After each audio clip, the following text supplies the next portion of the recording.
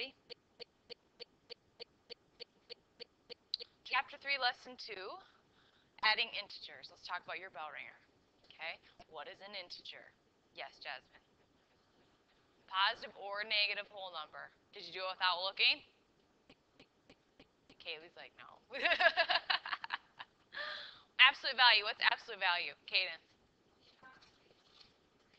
Yep, the amount of spaces something is from zero. What are the symbols for absolute value? Connor. Two lines, right? Two lines. What about ordering these from least to greatest? Jasmine. Very good. Did you think about what's colder? Because that's what I would have done. Which one's colder? Or which one's farther to the left on the number line? That's how you can easily tell if something is. Okay. Any questions on that? Everybody okay on their homework pretty simple, wasn't it? If you use your notebook. Some of you say, oh, I don't remember how to use it. do this. Use your notebook. Your notebook will come in handy for you if you have questions. Especially, let's say you go to study hall.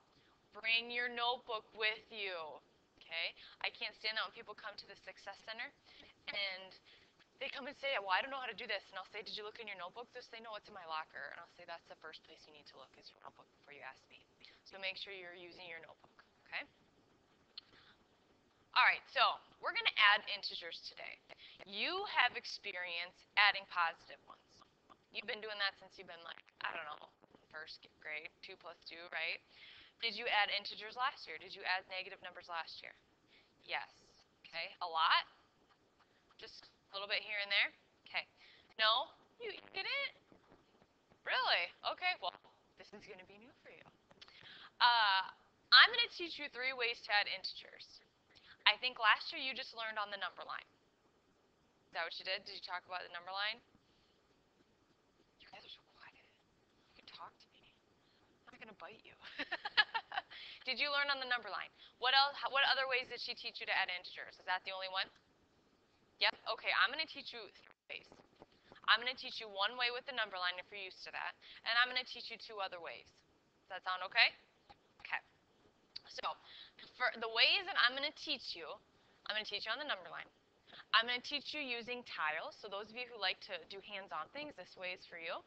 And cats and dogs. This is a way to do them in your head without using tiles and without using a number line. Okay? I'm going to teach you all three of these ways. Do I care which way you pick? No, I just want you to get the answer right. So I don't care which way you choose. Some of you might like to use the tiles and after a while say, well, I can do this in my head. Okay, so I want you to pick what works for you. Let's see, what do I got under here? All right, one vocabulary word that you need today. kind of goes along what we talked with yesterday. Remember we talked about opposites? Remember how we said like negative 2, the opposite's 2? Okay, one thing we're going to talk about is the additive inverse. And this is basically when you add two opposites together, you get 0, which makes sense. Because they cancel each other out.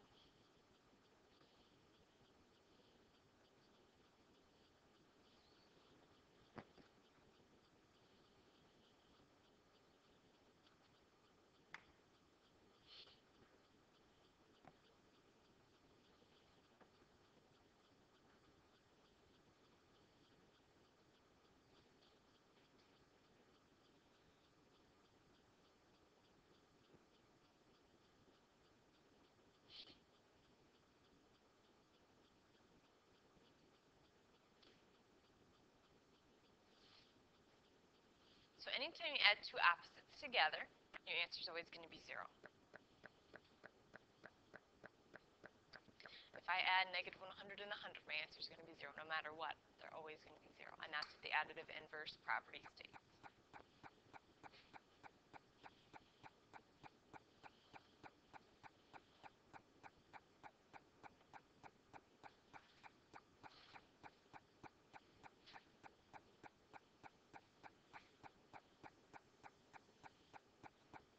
Move to the next slide. Good to go? All right, so first thing I'm going to teach you about the number line. So in your notes, what I would do, I would write number line. And then under that, I would write how to use the number line. Because I'm going to show you three ways. So I want to make sure you have these three ways in your notebook. Because if you get home tonight or you go to study hall and you say, oh, I don't remember what the number line way was, you can look back in that in your notes. So this is the number line.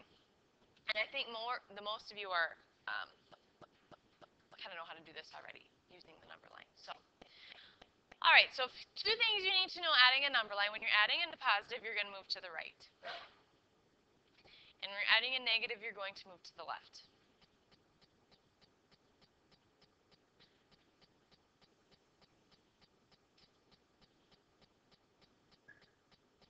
And I have some examples up here, and I'll show you how they work.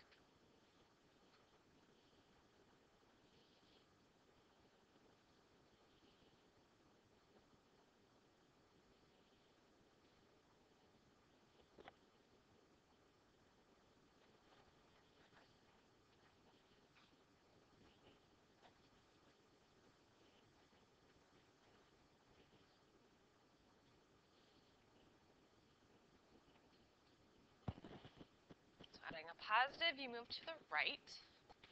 And adding a negative, you move to the left.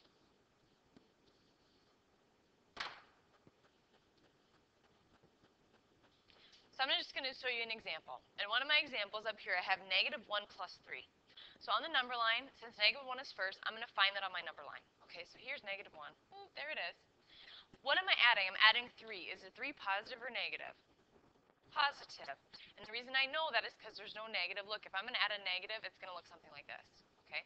So I'm adding a positive 3.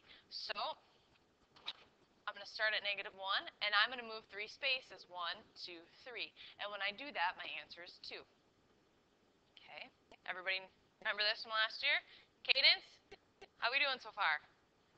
Makes sense. Okay, so let's do another one. Let's say I take Let's start at negative 7, and we're going to add um, 4. So I'm going to find negative 7 on my number line, and I'm going to move to the right 4 because I'm adding a positive number, a positive 4. So 1, 2, 3, 4, and where I end up, that's my answer. Fair enough? Okay, and then I would do the same for negative numbers. Let me get rid of this up here. Let's say, all right, here's my problem up here. 3 plus negative 5. Well, I'm going to find 3 on my number line, and since I'm adding, uh, get rid of that. Oh, well. And since I'm adding a negative 5, so let's say I'm going to find 3, I'm going to add a negative 5, so that means I'm going to move to the left. 1, 2, 3, 4, 5. My answer is negative 2. Okay? I'm not going to spend a whole lot of time on this, because I have other things that I want to show you. Okay? Questions on how to use a number line? Okay, I really don't think a lot of you are going to choose this. We're going to go to the next one. We're going to skip that one. We're going to talk about tiles. This is one of my favorite ways, especially if you like to, to move things around, if you're hands-on, this, this way is for you. Okay? So tiles, that's the next thing in your notebook. Tiles. And if you notice, I put some of them on your desk for you so you can do it with me. Uh, split them up between you and your partner, or you can all have you can have your own. I just put one group on your desk. Some of you need a little bit of red, and you need some yellow. Remember yesterday we talked about negative and yellow, negative and uh, negative were red and positive were yellow, so that's what these represent. The reds are negative and the positives are uh, yellow. And this is also why I asked you to bring some colors because you might want to draw some of this in your notebook just in case you get home tonight and you don't remember how to do this. Okay. Some of you might really, really like this way, especially if you were confused last year, you weren't quite sure how to do this, and the number line was confusing. Some of you might really, really like this way. I remember when I was in junior high and we had to add negatives, I had no idea how to do it. No idea. And I wish somebody would have showed me like different ways to do it because the way my teacher taught me, it did not work for me. So that's why I'm teaching you three different ways. All right, so two things you need to know. Can you remember these two things, red and yellow? If you can, you don't need to write it down. One thing you do need to write down, though, is zero pair. This is a really, really, really important vocabulary word that we're going to talk about for the next few days so zero pair. What it is, it's basically like the additive inverse. And remember when we say add opposites, they cancel out? That's the same thing as this. Zero pair, a red and a yellow tile. When you have a red and a yellow tile, they cancel each other out. That's why they're called a zero pair, because they equal zero.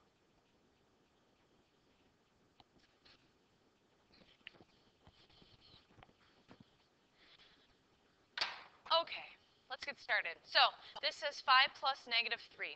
What I'm going to do first is I'm going to look at my first number, and it's a 5. Is it positive? Yeah, so I'm going to put five yellow tiles on my desk. And you can do it with me if you want. Okay, and what am I going to add to it? Negative 3. So I'm going to also put three red tiles on my desk.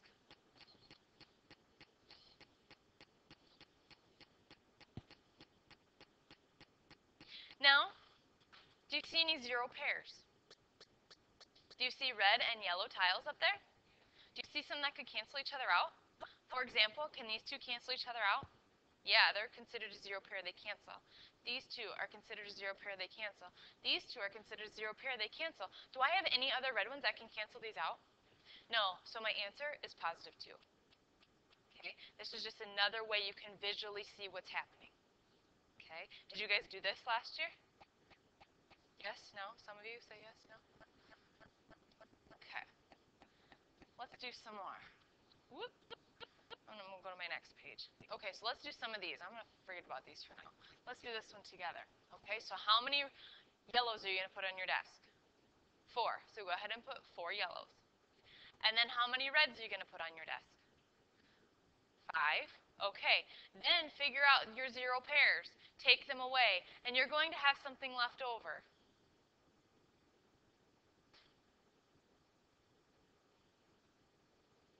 Kaylee, what do you got left over? One red. And what's a red? Negative, so negative one is your answer. Okay? I like this way. I think this is kind of fun.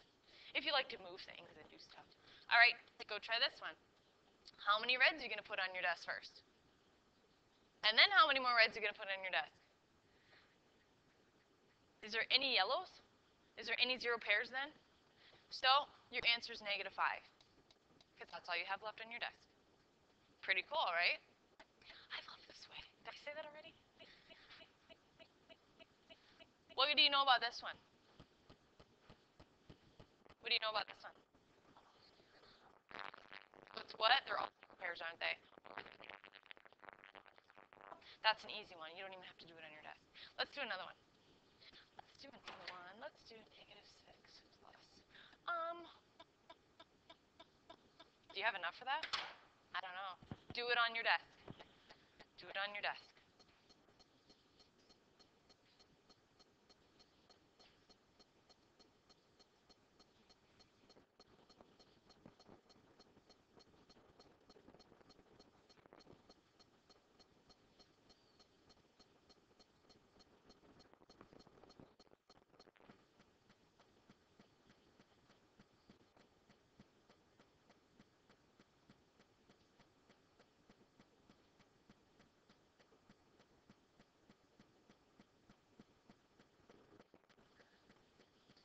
just wait. Okay. Did you have a lot of zero pairs there? Yeah, you did. What did you have left over? Four yellows, so positive four. Okay, positive four. Do you want to write one of these examples down in your notebook? If I were you, I would write a very simple one, okay? Let's do this. I'll make a really simple one for you. Let's do negative 3 plus 4. And what I would do if I were you I would draw three circles, and I would color them in uh, red. Ooh, I have a red. Then I would take do four circles. I believe I used to be able to make this red. Oops. Let's see. Pen, yellow. There you go.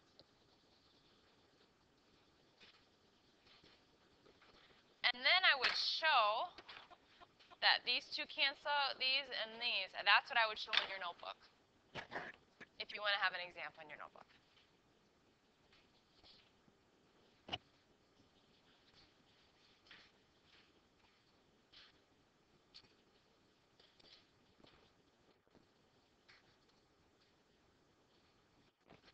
Somebody like this way better than tile or than number line? I like this way better than number line. I don't know about you. Some of you maybe have it figured out already, and that's wonderful, but some of you maybe don't, and that's okay.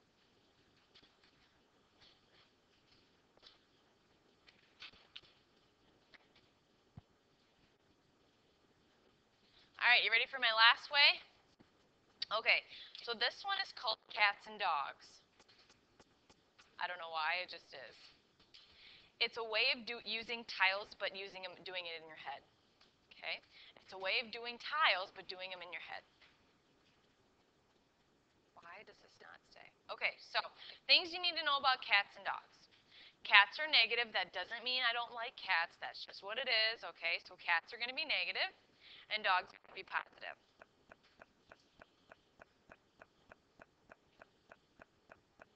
Cats are going to be negative, and dogs are going to be positive.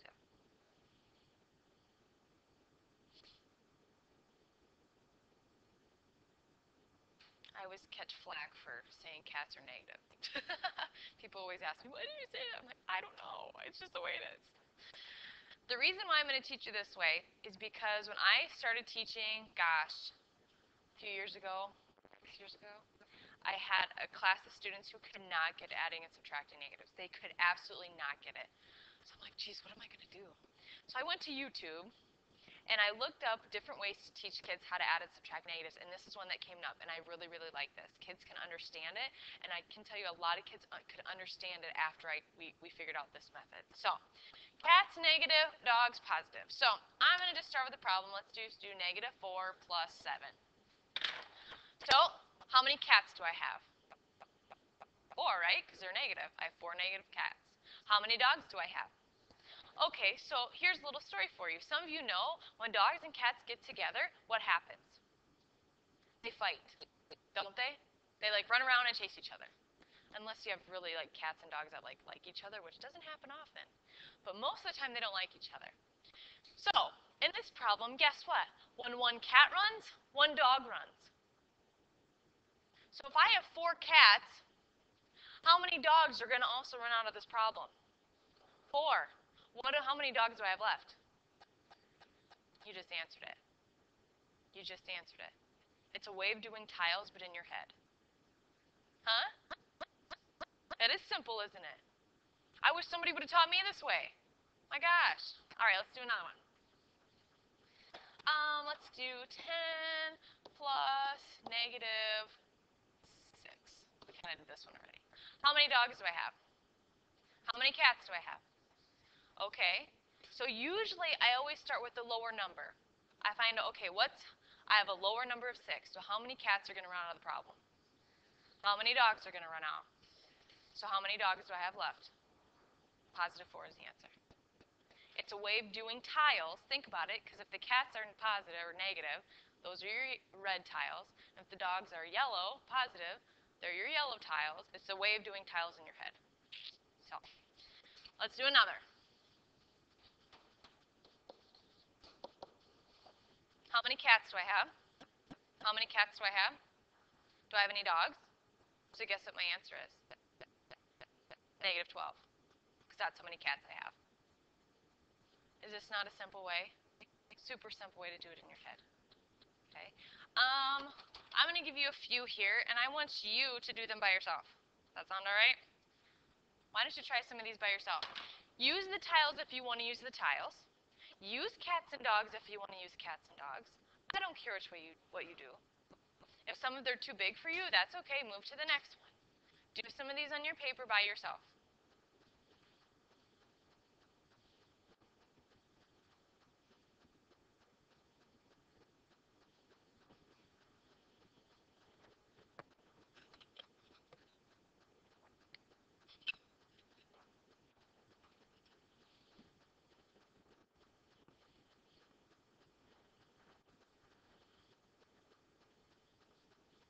you want to use tiles, you can use the tiles. Don't be afraid.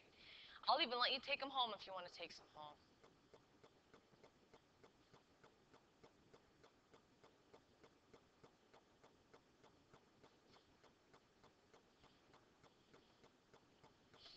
If you aren't sure, that's okay. We're just trying, just to see if we can do them. We're going to come back and talk about all of them when you're done.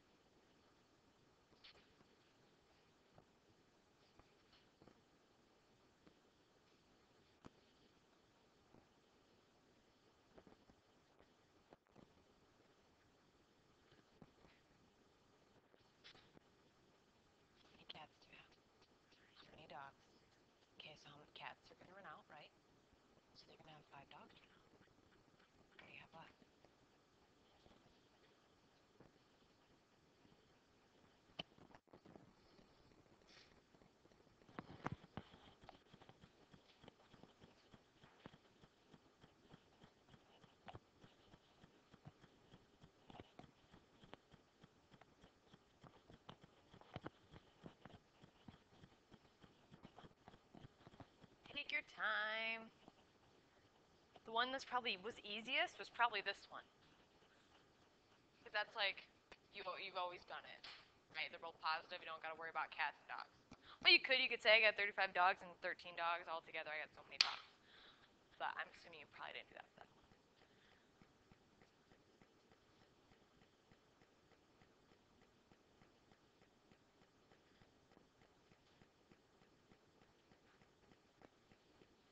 Here's a question for you. How do I know what sign it is? If it's positive or negative? How do you know?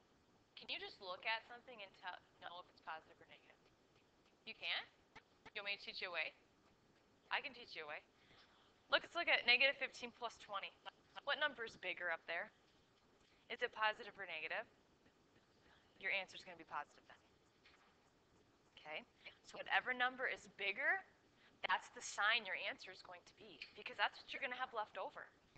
Right? Like if you have cats and dogs right now, you're going to have one that's left over. Whichever one's bigger, that's what the sign's going to be. So like that first one, I can already tell it's positive. That second is positive. This one up here, negative 9 plus 18, I can tell that's negative because they're both negative.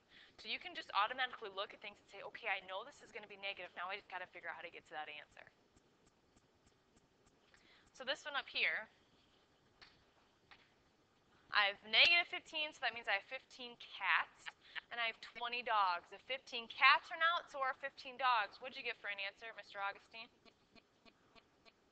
Five. Nice job. Everybody agree with him? Okay. What about this one? How many cats do I have? How many dogs do I have?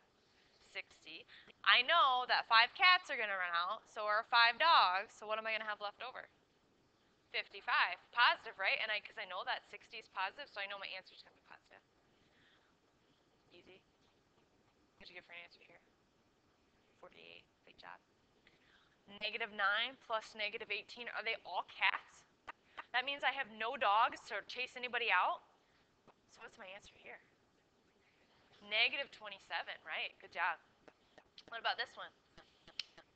Negative 2, because I have negative 10 cats, I have 10 cats, I have 8 dogs. Remember, I always go with the smaller number, because that's what's going to run out first. So I have 8 dogs that are going to run out, so 8 cats are also going to run out. So I have 2 left, so negative 2.